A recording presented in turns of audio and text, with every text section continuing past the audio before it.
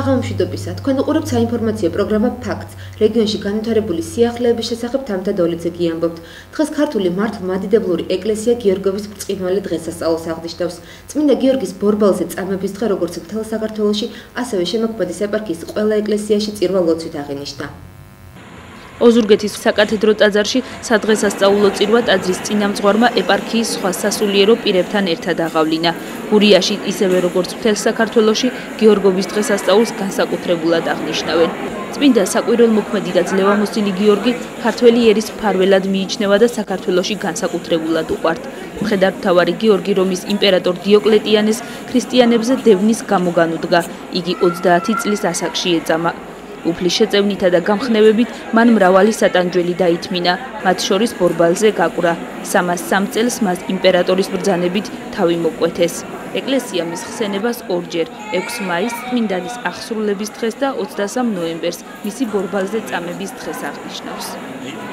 მიულოცავ ყველას ქართულ ხალხს, საქართველოს მთლიან. გულოცავ ყველას დღევანდელ დღესასწაულს, მერთმა წმინდა გიორგის მადლით. წყალობით და უფლის წყალობით ყველას ჯანმრთელობა, სიკეთე, სიხარული და ყოველივე კარგი გისურვებია. სწორედ გიორგობის დღესასწაულს დაამთხვია არასამთავრობო ორგანიზაციამ ქალები რეგიონის განვითარებისთვის საშემოდგომო ფესტივალი სოფელ დუაბსუში. საშემოდგომო ნატურმორტები მაგიდაზე, სხვადასხვა თემატიკის ნახატები და მარიონეტების თეატრის სპექტაკლი კომპლე. ეს გახლდათ ის ძირითადი სანახაობა, რაც დუაბზუელ ბავშვებს სოფლის ცენტრში დახვდათ. როგორც ორგანიზატორებმა გვითხრეს პროექტის დახურვა, რომელიც სხვადასხვა აქტივობებს მოიცავდა, სწორედ გიორგობას დაამთხვიეს მაცოფლში წმინდა გიორგის სალოცავის არსებობის გამო და შედეგით სასიამოვნო მიიღეს. ნანახით, კმაყოფილება მომსვლელებს აშკარად ეტყობოდათ. საშემოდგომო ფესტივალი დაიხურა პროექტი ციგნიერება გარემოს განვითარებისთვის, მის ფარგლებში სოფელში გაკეთდა ბიბლიოთეკა და მოეწყო ახალგაზრდა პოეტებთან შეხვედრები. კვლევამ დაამსხვრია ესე ვთქვათ ეს სტიგმა რომ ბავშვებს კითხვა არ უყვართ. ეს დღეს ხშირად ისმის.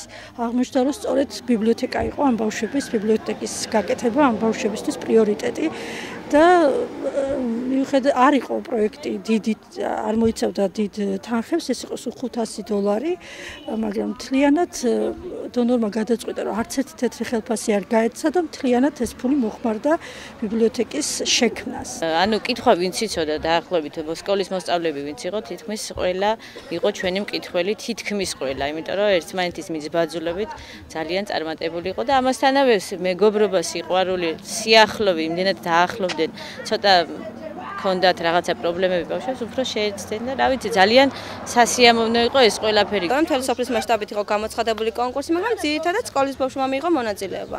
ანუ ჩვენი ორგანიზაციიდან მონაწილეები არ არიან, გახავთ მხოლოდ ორგანიზატორები, იმიტომ რომ ორ ყოფილიყო ასე შემდეგ, ძირითადად სკოლის ბავშვების ნამუშევრებია. და თქმა უნდა, საერთაშორისო კლასის მოსწავლეების. გადავწყვეტეთ ბავშვებმა, რომ ჩაგვეტარებინა გიორგობის ფესტივალი, რაც ცოტა აგვეღნიშნა და ამით მიგველოცა მოსახლეობისთვის. მე ვარ მე-11 კლასსა და ეს არის ჩვენი სუფრა, ჩვენს გადავწყვეტეთ რომ გაგვეკეთებინა სუფრა და შემოდგომის ნატურმორტი გავაკეთეთ და ისეთი ხილი და ისეთები დავდათ, რაც მოიპოვება ოზურგეთში და გურულებს მოყავთ და ყოველას მთელს ოზურგეთს და მთელ საქართველოს ულოცავ გიორგობას. ოზურგეთის სპორტის განვითარების ცენტრში რეგიონული რიგით მე-17 ჩემპიონატი ჭადრაკში გამართა. ნათია მუქერია გიამბობთ. რეგიონალურ ჩემპიონატ წინ შესარჩევი ტურნირი და რაიონული პირველობა უძღოდა. ჩემპიონატში მონაწილეობას 13 მონაწილე იღებს.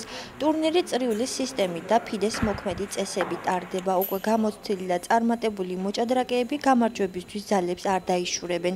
სამივე რაიონში ჩატარდა რაიონული პირველობები რომლებსაც წინ უძღოდა კიდევ შესარჩევი ტურნირები და ჩოღატაურის რაიონიდან სამი მონაწილე მიიღო ეს საგზური, ლაჩხუთიდან 4 მონაწილე და 6 მონაწილე, როგორც მასპინძელი რაიონი უზურგეთლები იქნება წარმოდგენილი. პირველად მიმოხდი შესარჩევ ტურნირში, გავედი მეოთხე ადგილზე და ამით გავინახე ადგილი რომ აქ მეთამაშე. ძალიან მიხარია რომ აქ თამაშობ დღეს და ჩემ თავის იმედი მაქვს. 13 შეხვედრა ფაქტიურად მოგებული მაქვს და რა თქმა უნდა, ახლაც იმედს ვამყარებ, რომ 3-ულს არ ავცილდები. რეგიონალური ჩემპიონატის ტურები ყოველდღე დილის 11 საათიდან შედგება და 29 ნოემბერს საზეიმო ვითარებაში დასრულდება. გამოშვებას დედაქალაქის ამბებით ვაგრძელებთ. კულტურის მინისტრის მოადგილე იური მეჩიტოვი სოციალურ ქსელ Facebook-ში გავრცელებულ სკანდალურ ვიდეო ჩანაწერთან დაკავშირებით ბოდიშს იხდის. თუ ვინმეს გული ეთკინა მზად ვარ პიროვნულად ბოდიში მოუხადო, მაგრამ ეს უწყინარი ვიდეო იყო, განაცხადა იური მეჩითოვმა. კულტურის მინისტრის მოადგილის თქმით, ვიდეო, სადაც ის ქართველებს კუთხურობის მიხედვით ახასიათებს იუმორისტული ხასიათისაა და იგი უბრალოდ ანეკდოტებს ყვება. ცნობისთვის იური მეჩითოვმა მეგრელებთან ერთად გურულები აღნიშნულ ვიდეოში გამამცირებელ კონტექსში მოიხსენია. ეს კულტურის ერთ-ერთი მიმდინარეობა, რომელზეც აქტიურად მუშაობ. მე ანეკდოტების ციგნის გამოცემასაც ვა ვაპირებ ამცნო საზოგადოებას იური მეჩითოვმა. თუ იმეს ეთკინა გული მე პიროვნულად ჩემი და მოუხადო ბოდიში ჩემთვის ბოდიშს მოხდას ვერავინ ვერ დამასწრებს. თუმცა ჩემი ბრალი აქ არის მინიმალური კიდევ ერთხელ, ამიტომ ის არის უწყინარი ვიდეო, სადაც მე ვყვები ანეკდოტებს და რაც შეეხება ანეკდოტებს, მე ანეკდოტებზე სპეციალურად მუშაობ. ეს არის კულტურის ერთ-ერთი ნაწილი. ეს არის ყველაზე მოკლე ლიტერატურული ფორმა.